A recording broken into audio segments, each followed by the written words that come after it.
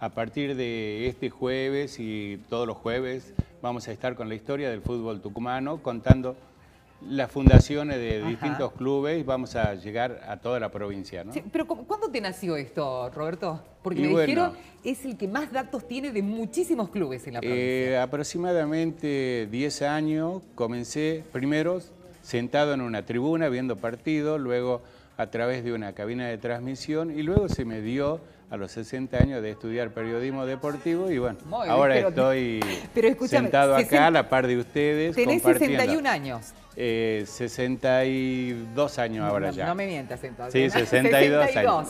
A ver, ¿y empezaste a estudiar este año periodismo? Eh, hace dos años Hace dos años. Sí, sí. Bien. Así que bueno, yo siempre digo eh, que más allá del título es lo que uno tiene para entregar, ¿no? Profesionalmente. Obviamente el título vale muchísimo. Obviamente ¿eh? que sí. Pero el amor que uno le pone a esto, a esta profesión, la verdad que... Pero es muy loco, ¿no? Porque yo empecé a estudiar por eso de querer hacer un libro sobre un club, eh, contar la historia de un club que hace poquito cumplió 100 años. Y bueno, le había prometido a un amigo, ya un hombre grande, mucho mayor, que lamentablemente no está, eh, con nosotros ya, pero le dije, yo voy a hacer el libro de Sportivo Guzmán, se lo prometo. Y él me dice, pero tenés que estudiar, lo voy a estudiar. Y bueno. Historia de los clubes de Tucumán. ¿Y a dónde estuviste? Y bueno, ayer este, estuvimos en la ciudad Banda del Río Salí. ¿Banda Río Salí? Sí, y podemos ver el informe si bueno, muy bien, aquí debutando a quien venga la tarde, la historia de los clubes y Wally se fue a Banda del Río Salí equipo a ganar.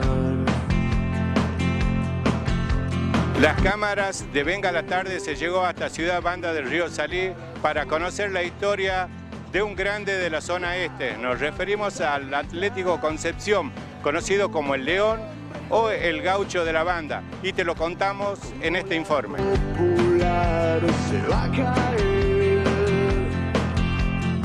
Un 27 de diciembre de 1909, en casa de un vecino, se reunían aproximadamente 12 personas con el objetivo de fundar un club, el Atlético Concepción. Fidel Simón González, quien fue su primer presidente, junto a José Mercado, que es el vicepresidente, Gregorio Ponce, José Frasconá, José Soria y Rodríguez, entre otros, fueron los que una noche terminaron de darle forma a un club que con el correr de los años se transformaría en el tercero, en Discordia o el tercer grande. En los primeros años del club de banda de Río Salí se limitaban a jugar partidos amistosos con los clubes de la capital tucumana.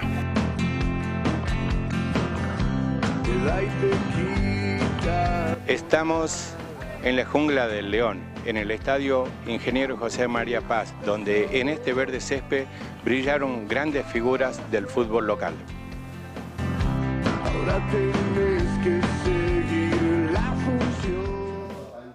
Bueno, muy bien. Eso fue un poco la intro de todo el trabajo que va a venir desarrollando. Has recopilado mucho de la historia, muchas imágenes y me dijeron, Wally guarda un tesoro que son muchas fotos que nadie más las tiene. Sí, eh, la verdad que, pero sobre todo entrevisté a una persona, a una mujer, hincha del Atlético Concepción, que tiene una muy bonita historia, ¿no? Comenzó desde muy jovencita, de niña prácticamente, y bueno, también nos contó la siguiente historia, y es doña eh, Niña eh, Civili. Niña Civili. Con 85 años, aún sigue yendo a la cancha, a alentar a su león. ¿La vemos? La vemos. Vamos.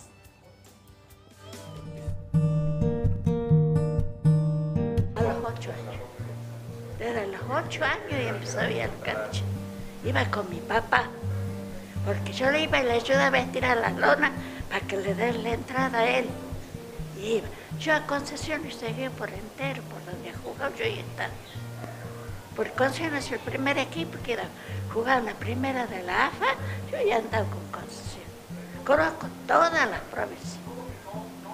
El más mejor, para mí era todo el Torito Clima también. Y de ahí los muchachos más viejos, que ya ni me acuerdo cómo se llamaban. Ya, ahí tengo las gacetas, todo. todo iba a la cancha.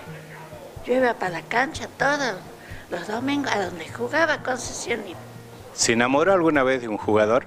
No, mi marido era jugador de ahí, pero él jugaba en la cuarta, ¿viste? Yo le decía que era jugador de cuarta, es que ahora le dicen la reserva. Él jugaba también ahí. ¿Qué recuerdo le dejó Hugo Manuel García?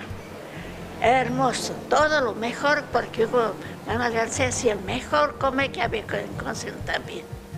Yo a ellos, a mis hijos, yo los creo en la cancha los domingos. Iba y les llevaba una bolsa con naranja y los hacía sentar en el, pasto y ahí ver el partido. Eh, ¿Qué fue lo mejor que le dejó Atlético Concepción a usted? Cuando le ganamos a San Martín. ¿En la cancha de San Martín? Cuando le ganamos aquí, le ganamos en la cancha de San Martín. Ese es el mejor partido que ha sido. Y otro que ha sido mejor cuando le hemos ganado a Central Norte para que se clasifiquemos nosotros. Porque Central Norte jugaba con nosotros y Atlético con San Martín. Y nosotros le ganamos a, Central Norte y San Martín le ganó a Atlético. Y después vinieron a jugar aquí. No tengo tristes, todo y alegría para mí. Cuando nos han sacado, cuando ha sido el accidente de ese muchacho y después lo, lo han sacado al club de primero, todo, esa ha sido la pena más grande. ¿Y aunque se haya ido al descenso? Lo mismo, yo siempre y seguí para dolido. Porque para mí, Conción vivía en mi corazón toda la vida y en la cancha San Martín. ¿Por qué? Y porque San Martín era... ¿Y sabe cuál es la otra cancha más difícil para nosotros? La cancha de San Juan, porque ahí nos corrían hasta, hasta la ruta, sino hasta la iglesia Santa Cristo. Cuando jugaba con Concepción, con San Juan, cuando era la cultural. Jugaban con San Juan, íbamos a la cancha, teníamos que disparar, sea hasta la ruta o veníamos disparando para acá, para hasta la iglesia Santa Cristo. ¿Alguna vez peleó con otra mujer hincha de no, Yo nunca, yo, nunca he sido este, agresor.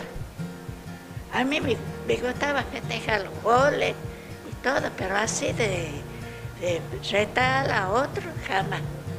Nunca hice así. Yo la concesión lo llevo en el alma. A mí ni mi marido me prohibía que vaya a la cancha. Yo le decía, puede prohibir cualquier cosa, pero yo a la cancha, yo voy. Eh, nos vamos a ir con la imagen de Doña Niña, su nieto y una bandera de León que ya está acá, que le hicieron sus nietas. Eh, mis amigas, que somos unas cuantas que somos infaltables de la cancha, que estamos ahí. Se juntamos entre todas nosotros y vamos. ¿Ha visto? Así. Bueno, realmente tremendo el trabajo que hizo Wally. Un fuerte aplauso para Wally. Pero brillante, Wally. Wally, nos contabas que esta señora tiene como un santuario allí. Sí, eh, precisamente es un santuario donde tiene todas las fotos y fotos antiguas, pasamos alguna que eh, por cuestión de tiempo también, pero tiene todo. Diarios, pero a montones, que también sacamos eh, de ahí imágenes, ¿no? Pero la verdad que es una mujer muy lúcida a pesar de los 85 años y se la vio hasta que se podía ir a la cancha. Claro. Está ella presente siempre alentándolo al León, ¿no? Y también le preguntábamos de jugadores, le pregunté de Pedro Arturo Montero, que llegó a jugar eh, un partido de selección argentina allá en Mar del Plata, citado por César Luis Menotti, ¿no? No es poca mm. cosa. Y de Daniel Hernández, que jugó un Panamericano en 1988 y hizo una gira por Berlín también. Y tiene, Atlético Concepción tiene un gran ídolo que es eh, Fernando Robles, que todavía nadie le puede igualar el récord de goleador, 300 goles en la Liga Tucumana. Epa, Qué totalmente, eh. ¿no? Ahí está, un abrazo a toda la gente de La Asteña, Banda del Río Salí, todo el este de la provincia, el departamento Cruz Alta, eh, fieles al León, che.